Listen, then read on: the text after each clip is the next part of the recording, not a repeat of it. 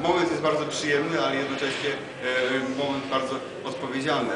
Tak duże zaufanie, które obdarzyli mi elektorzy, spowoduje to, że jeszcze więcej trzeba będzie pracować. Perspektywy e, zarówno pod względem studenckim, jak i naukowym są bardzo dobre.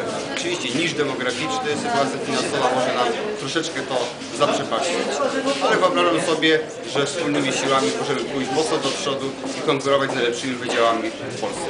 Myślę, że należy współpracować ze wszystkimi. Dotyczy to od studentów po profesorów, czy, czy odwrotnie, bo razem tworzymy tą społeczność.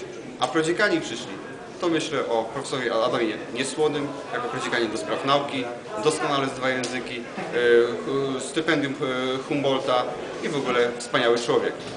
E, Prodziekan do spraw studenckich to dr Krystian Czernek. Bardzo dobry, bardzo doświadczony. Współpracowałem z nim przy czterech grantach unijnych, st- stypendia dla doktorantów. Doskonale się z nim pracuje. Młody, prężny myśli o wydziale.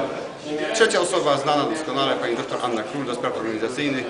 Zna doskonale finanse, ponieważ była prorektorem, także wie jak zarządzać finansami i myślę, że mniejsze środki mogą być lepiej wykorzystane przy takim dobrym doświadczeniu pani dr Anny Król.